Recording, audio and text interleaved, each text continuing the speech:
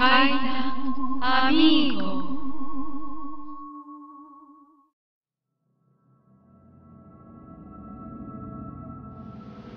ついこの間なんですけどもあの、まあ、劇場の方にですねあの稲川淳二さんのあの映画「語り部」をあの見に行く機会があったんですよ。でまあものすごいすごい楽しい映画ででその後あの、まあ、先行上映会ということもあって舞台挨拶でもう本当稲川淳二さんの生の怪談も聞けて今回プロデューサーの清水隆さんもあのいつだかの楽屋で聞かせてもらったあの話をなさっててものすごいありがたい。で大畑監督もご自身のお話をなさっててっていう、まあ、ちょっとテンションが上がってたこともあったんですよね。まあそれもあったんでその帰りタクシーに乗って帰ってる時なんですけども僕その劇場で買った語り部のパンフレットをもうタクシーの中で広げて見てたんですよ。で見てたら運転手さんが「あれって稲川淳二ですね」みたいなこと言い出してでちょっとそんな感じだったらおこれいけるなと思って。運転手さんちなみにこうやってお仕事なさっててなんか変わった体験とかしたことないですか？って聞いたんですよ。そしたらその運転手さんがちょっと面白い話を聞かせてくれたんですよね。というのがまあその日の夜結構深い時間だったらしいんですけども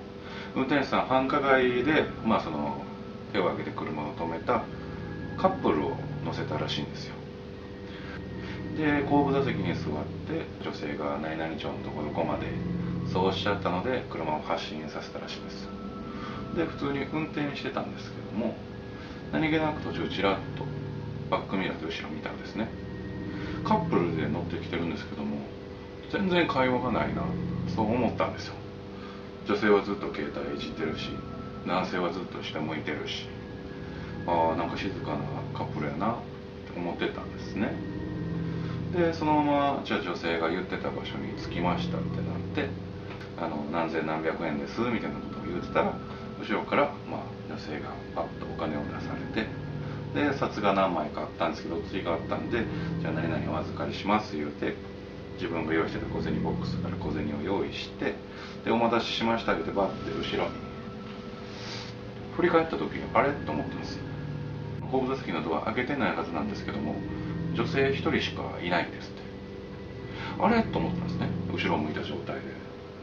あれおかしいな。さっきまでカップルやったのになと思いながら、まあ、その女性がお釣りをこう取ったんで「ありがとうございました」言ってそれを。見送ってたんです。えでもおかしいよな絶対見間違いやないよな思いながら気になったんでタクシーを降りてった女性をずっと目でじーっと追ってたらしいんですね。そしたらその女性は確かに一人でどんどん向こうの方に歩いていったんですけどその歩いていく女性の背中にぴったりくっつく薄いさっきの男性がいたらしいんですよ。あれは何なんだろうと思ったんですけどもそのまま女性は角を曲がって消えていったと言います。もしかしてあの時カップルだと思って乗せたんですけども生きてる人じゃなかったのかなってそんなお話を聞かせてもらうことができました。